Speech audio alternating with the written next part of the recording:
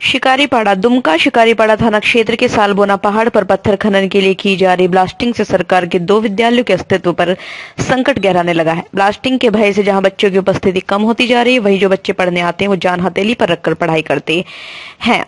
क्योंकि ब्लास्टिंग के बाद माइंस के पत्थर स्कूल की छतों पर आकर गिरते हैं, जिससे सालबोना उत्क्रमित प्राथमिक विद्यालय, उत्क्रमित मध्य विद्यालय के भवन पूरी तरह जर्जर हो गए।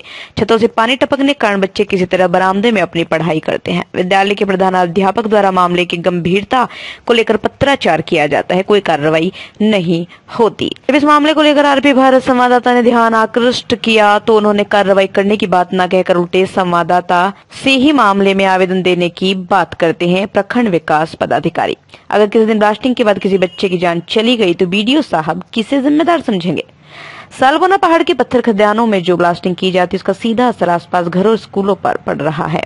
आपको बता दें, प्राथमिक विद्यालय की बदहाली अत्यंत ही दयनीय है। बरसात का सारा पानी स्कूल के कमरे में टपक रहा है।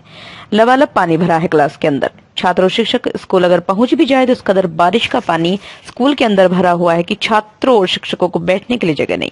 अगर खबर चलने के बाद भी प्रशासनिक निद्रा नहीं टूटी तो समझिए, अंधेर नगरी चौपट राजा वाली कहावत दुमका में चरितार्थ हो रही है। शिकारीपाड़ा से रजाक राजा की रिपोर्ट। दमदार निर्माण का भरोसा। लाल स्टील टीएमटी बार्स हर निर्माण के लिए उपयोग लाल स्टील टीएमटी बार्स रिश्ता, मजबूती का।